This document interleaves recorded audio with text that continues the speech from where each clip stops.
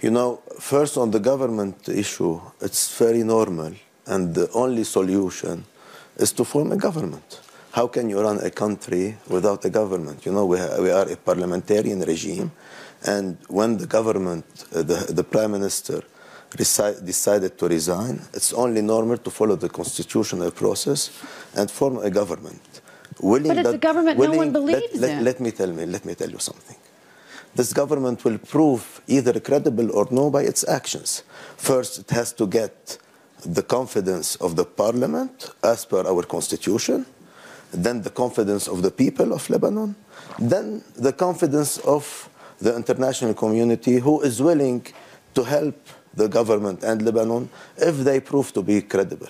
That's so totally fair. What I would say to you, and in my reporting, and the folks that I speak to, not just here at the World Economic Forum, but elsewhere, back in the Gulf, for example, you get a lot of money and contributions from people in the Gulf. You get a lot of help from the U.S. government and European governments as well. I've asked uh, the Saudis, the Qataris, and generally the message seems to be off record that they're not going to back a government that is backed by Hezbollah.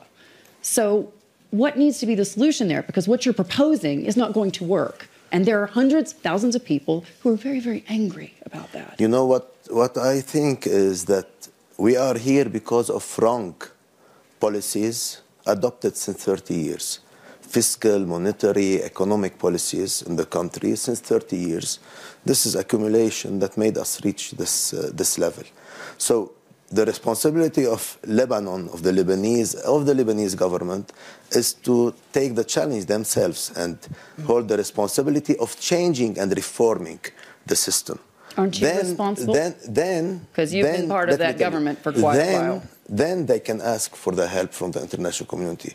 So there is the responsibility first. We as part of the government since 10 years. This has been ongoing with the constitution since 30 years. We were not part of this, rather, we were in exile during the Syrian occupation and with all the political class that cooperated with Are the Syrians. Are you taking responsibility no, no, for the fact that this being is part, a very bad you know, situation? Being part of the government, we definitely take And it's not just you. No, no I, don't, I want to make that let clear. Me, let me continue my, my answer.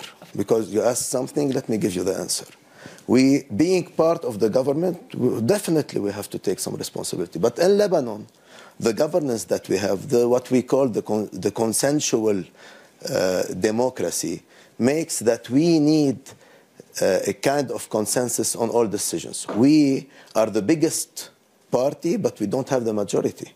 So everybody is somehow responsible. We are responsible of not being able in the past government and before to reach what we wanted in reforms. We started, a lot has to be done. You know, many are fighting this. Many, many politicians don't want the reform, don't want to fight corruption. They are part of it. And this is an ongoing fight. What is happening now in the streets is very positive because it's creating dynamics to create that change. Hi, I'm Joumanna Bercetche and thank you for watching. You can check out more of our videos by clicking on the boxes on the screen. And don't forget to subscribe to our channel for more from CNBC International. Thank you for watching.